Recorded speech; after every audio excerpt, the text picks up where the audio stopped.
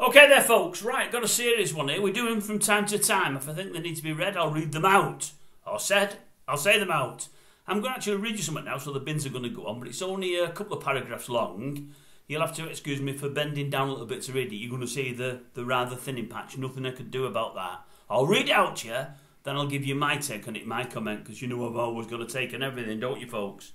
Right, this says, it's in the paper today. It's under the title, Not All Iranian Tyrants Are Men. Not all Iranian tyrants are men. Please forgive the quality of my reading, I'm not the best reader in the world. And so it starts. Another innocent young victim succumbs to Iran's vicious morality police. 16 year old Armita Geravand has died after sustaining se- severe injuries while being dragged from a train for not wearing a headscarf. What's doubly awful about her tragic death, well, murder actually, is that the officers involved were female. What kind of a woman does such a thing to another woman? There is a special place in hell for people like that.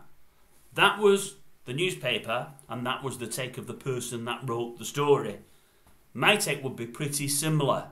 Um, only I would I would like to add to that, as I've said many times in the past.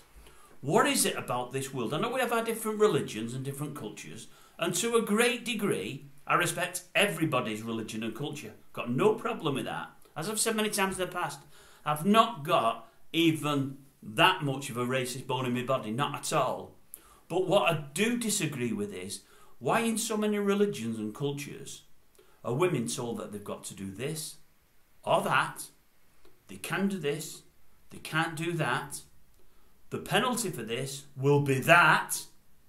But if men do the same, there's no penalty. I just don't get it at all.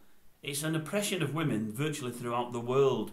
And I, I don't understand it. And I don't believe it's because religions have told men to treat women this way. I think it's that men in certain countries and of certain religions see themselves as the dominant species and have always wanted to be and like to keep and put women in the place. And should they step out of line in any way, shape, or form that doesn't suit the man, they do whatever it, they want to towards them to stop it happening. It's just shocking. I seen again only the other day. I think at long last they're gonna. I think there's a woman. Is it from Britain? I think she's.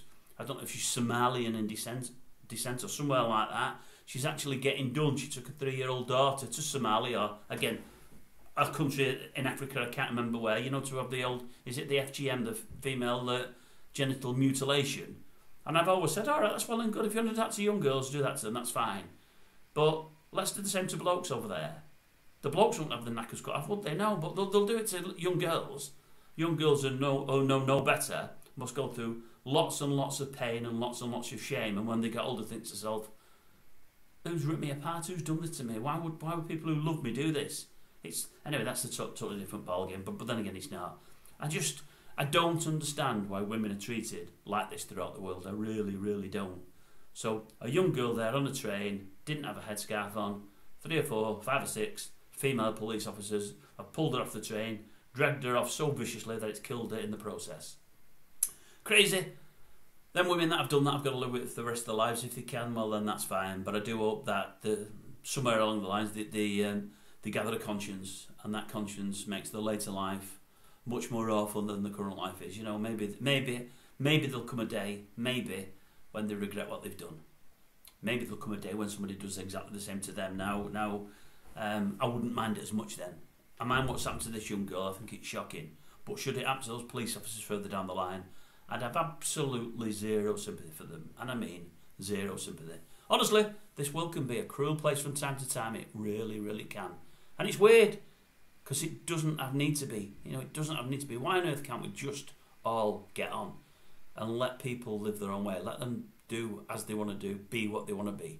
Crazy.